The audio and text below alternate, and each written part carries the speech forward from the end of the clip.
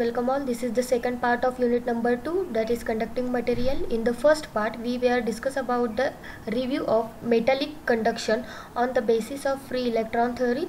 In this particular lecture we are going to see variation of conductivity with temperature and composition, material for electric resistor, general electric properties, material for brushes of electrical machines, lamp filaments, fuses and solder. So let's start the video with variation of conductivity with temperature. First of all we see conducting material. So what is meant by conducting material? Material is made up of atom. बघा ॲटमपासून हा material बनलेला असतो and atom consist of electrons and nucleus atom म्हणजे काय की त्याच्यामध्ये electrons असतात त्याच्यामध्ये न्यूक्लियस असतं electrons are carrying negative charge while nucleus is having positive charge आपल्याला माहिती आहे ॲटमचं स्ट्रक्चर माहिती आहे एक पॉझिटिव्हली चार्ज असतो एक निगेटिव्हली चार्ज असतो. तर त्यातले इलेक्ट्रॉन्स निगेटिव्ह चार्ज कॅरी करतात आणि न्यूक्लियस जे आहे जे की फिक्स असतं तर ते पॉझिटिव्ह चार्ज कॅरी करतात. This electrons are attach to the parent atom हे जे इलेक्ट्रॉन्स असतात ते पॅरेंट ॲटमला अटॅच असतात. If the electrons is loosely bounded with their parent atom then it can be easily detach from the parent atom by application of the charges. This motion of the electron is called as current. Such current carrying material is called as conducting material. बघा जसं आपण बघितलं item आहे ॲटममध्ये electrons असतं ॲटममध्ये nucleus असतं न्यूक्लियसचा charge हा positive असतो आणि ते मिडलला असतं बरोबर न्यूक्लियस हा फिक्स असतो तो मिडलला असतो आणि त्याच्या आउटर ऑर्बिटमध्ये इलेक्ट्रॉन्स मूव्ह होत असतात म्हणजे इलेक्ट्रॉन्स म्हणजेच निगेटिव्हली चार्ज कॅरिंग तर हे जे इलेक्ट्रॉन्स आहे हे फ्रीली मुव्हेबल असतात. तर त्यातले जे लूजली बाउंडेड असतात सर्वात लास्टच्या शेलमधले जे इलेक्ट्रॉन्स असतात लूजली बाउंडेड तर ते लूजली बाउंडेड इलेक्ट्रॉन्स हे आपल्या पॅरेंट ॲटमपासून डिटॅच होतात. ठीक आहे?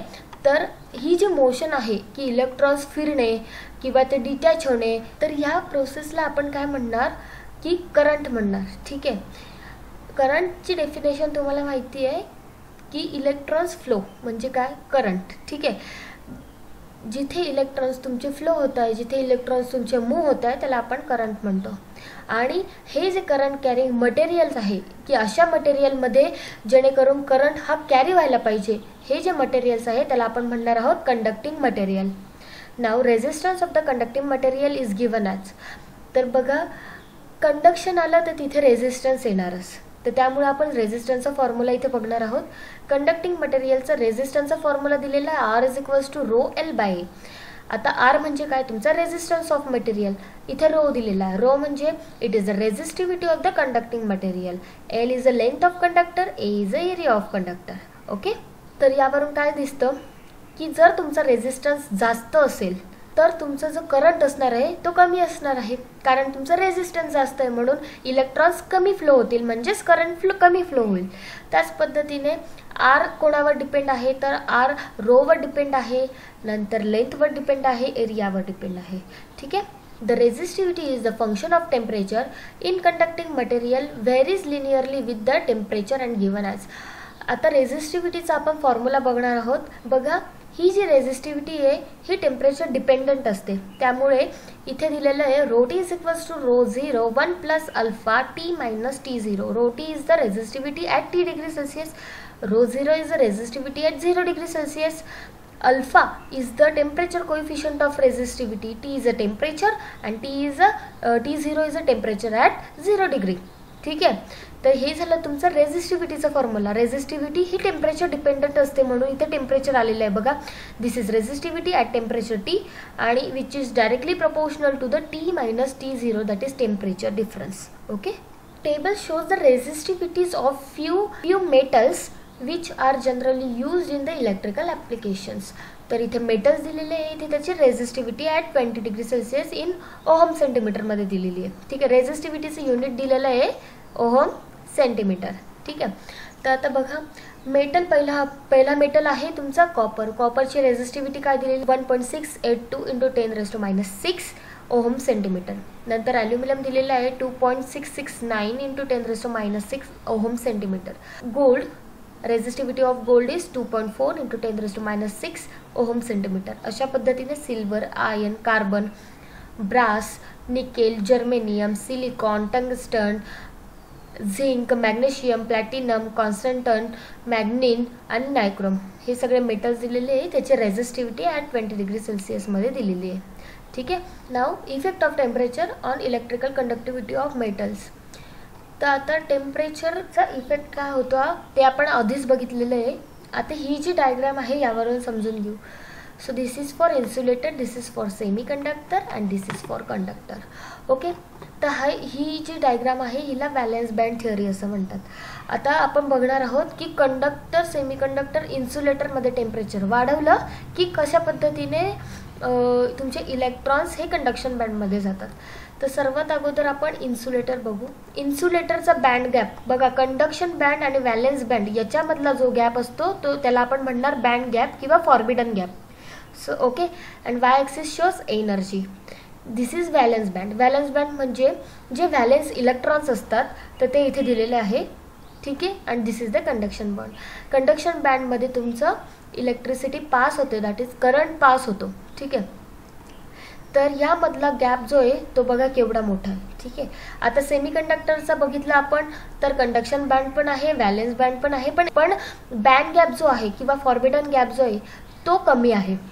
आणि आता कंडक्टरचा विचार केला तर व्हॅलन्स बँड कंडक्शन बँड आहे. परंतु बँड गॅप जो आहे तो ओव्हरलॅप झालेला आहे. ठीक आहे? म्हणजे हिच्यामध्ये तुम्हाला बँड गॅप दिसतोय का नाही? कारण तो ओव्हरलॅप झालेला आहे. आता आपण समजा टेम्परेचर वाढवलं. इथे आपण टेम्परेचर वाढवलं. तर काय होणार आहे? तर हा बँड गॅप खूप मोठा असल्यामुळे व्हॅलेन्स इलेक्ट्रॉन्स तुमचे कंडक्शन बँडपर्यंत पोहोचूच नाही शकत.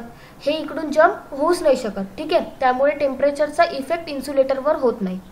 ठीक आहे. आता सेमी कंडक्टर बघितलं की सेमी कंडक्टरमध्ये मी टेम्परेचर वाढवलं तर काय होईल? तर तुमचे जे व्हॅलेन्स बँडचे इलेक्ट्रॉन्स आहे ते व्हॅलेन्स बँडचे इलेक्ट्रॉन कंडक्शन बँडमध्ये उड्या मारतील. म्हणजेच काय? जम्प करतील. कारण हा जो बँड गॅप आहे तो लहान आहे. त्यामुळे व्हॅलेन्स बँड कंडक्शन बँडमध्ये जाऊ शकतात. बघा इथे पण तुम्हाला इलेक्ट्रॉन्स दिसत आहे जेव्हा आपण टेम्परेचर वाढवलेलं आहे त्यावेळेस. म्हणजे काय सांगता येईल आपल्याला?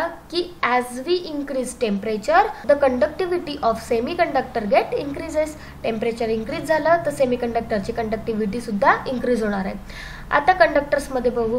कंडक्टर्समध्ये तुमचा जो फॉर्बिटन गॅप आहे किंवा बँड गॅप आहे तो एकमेकांवर ओव्हरलॅप झालेला आहे. त्यामुळे हिच्यामध्ये दोन टाईप्स पडतात.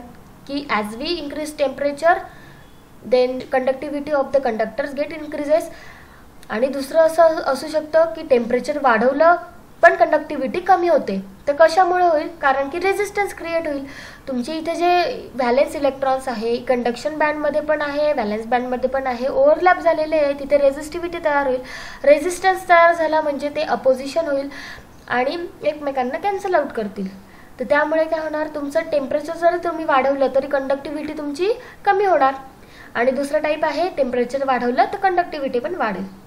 ओके सो अशा पद्धतीने effect of temperature insulator semi conductor आणि कंडक्टरवर कशा पद्धतीने होतो ते यामधून समजायला येतं. Okay the next point is general properties of conductor All conductors contain free charge carrier that is valence electrons which will move on application of electric potential difference. This movement of free charge carriers is called as electric current. जसं मी तुम्हाला electric करंटची definition सांगितली की जेव्हा जे valence electrons आहे त्याला आपण पोटेन्शियल डिफरन्स अप्लाय केला तर ती व्हॅलेन्स इलेक्ट्रॉन फ्रीली मूव्ह होतात आणि त्यालाच आपण म्हणतो इलेक्ट्रिक करंट ओके आता जनरल प्रॉपर्टीज कंडक्टरचे जनरल प्रॉपर्टीज असतात एक तर इलेक्ट्रिकल प्रॉपर्टी एक मेकॅनिकल प्रॉपर्टीज तर इलेक्ट्रिकल प्रॉपर्टीज कोणत्या कोणत्या आहे ते आपण बघणार आहोत. तर first electrical property is conductivity of the material should be large जे कंडक्टर्स असतात म्हणजे जे मेटल्स असतात त्याची कंडक्टिव्हिटी कशी असली पाहिजे? लार्ज असली पाहिजे जेणेकरून जास्त करंट तिच्यातून फ्लो व्हायला पाहिजे. आणि जे असे कंडक्टर्स असतात किंवा असे मटेरियल्स असतात ते आपण यूज करतो जेणेकरून आपला करंट एका एका जागेवरून दुसऱ्या जागेवर पास होऊ शकेल. ठीक आहे? आता जनरेशनपासून तर डिस्ट्रीब्युशनपर्यंत जे आपण वायर्स यूज करतो जे ट्रान्समिशन लाईन यूज करतो त्यामध्ये आपण जे इलेक्ट्रॉ जे मटेरियल्स वापरतो ते असतात तुमचे कंडक्टर्स कंडक्टर्स म्हणजे charge carrying electrical current carrying असतात. तर त्याची कंडक्टिव्हिटी कशी असली पाहिजे? लार्ज असली पाहिजे. म्हणजे रेझिस्टिव्हिटी कशी असली पाहिजे? लो असली पाहिजे. सेकंड प्रॉपर्टी त्यांनी दिलेली resistivity should be low conductivity आणि रेझिस्टिव्हिटी अपोजिट असतात. म्हणजे conductivity is equals to one by one by R that is one by resistivity ठीक आहे? हे दोघी अपोजिट प्रॉपर्टी आहे. कंडक्टिव्हिटी जास्त पाहिजे रेझिस्टिव्हिटी कमी पाहिजे. तिसरं resistance temperature coefficient should be low resistance temperature coefficient सांगितला मी तुम्हाला अल्फा तर तो कसला कसा पाहिजे तुम्हाला? लो पाहिजे. Now the mechanical properties first mechanical properties for the conduction is high resistance against corrosion corrosion नको व्हायला. त्याच्यासाठी तुम्हाला कसा रेझिस्टन्स लागेल? तर हाय रेझिस्टन्स ठीक आहे? Second one is it should possess high mechanical strength तुमच्या कंडक्टरची मेकॅनिकल स्ट्रेंथ कशी असली पाहिजे? हाय असली पाहिजे. Third one is it should be able to draw into thin wire त्यालाच आपण काय म्हणणार? Ductile the material should be ductile ductile म्हणजे काय? की आपण त्यापासून थिन वायर्स फॉर्म करू शकतो. त्याला आपण म्हणतात डक्टाईल आणि प्रॉपर्टीला आपण म्हणतो ductility property now the fourth one is it should be drawn into thin sheets जर त्या कंडक्टरची आपण थिन शीट बनवू शकलो तर त्याला आपण म्हणणार मॅलिएबल मॅलिएबल म्हणजे काय? थिन शीट्स आपण बनवू शकतो. तर आणि त्या प्रॉपर्टीला आपण म्हणणार मॅलिएबिलिटी ठीक आहे? डक्टिलिटी आणि मॅलिएबिलिटी डक्टाईल म्हणजे काय? की आपण थिन वायर प्रिपेअर करू शकतो आणि मॅलिएबल म्हणजे थिन शीट्स प्रिपेअर करू शकतो. Fifth property is easy to fabricate ठीक आहे? Now the six one is soldering and welding of joints should have minimum contact resistance बघा सोल्डरिंग आणि वेल्डिंगमध्ये जो कॉन्टॅक्ट रेझिस्टन्स असतो तो मिनिमम असला पाहिजे. आणि seventh one is durability and low cost जास्त काळ टिकणारा पाहिजे म्हणजे ड्युरेबल पाहिजे. आणि त्याची कॉस्टही कमी असली पाहिजे. हे झाले तुमचे electrical properties and mechanical properties of the conductor ठीक आहे? So in this way we completed variation of conductivity with temperature and composition and material for the electrical resistant general electrical properties हे जे मटेरियल्स आहे ते मी पुढच्या लेक्चरमध्ये घेईल. General properties आपण इथे बघितलेल्या आहे या लेक्चरमध्ये so thank you for watching video stay safe stay healthy thank you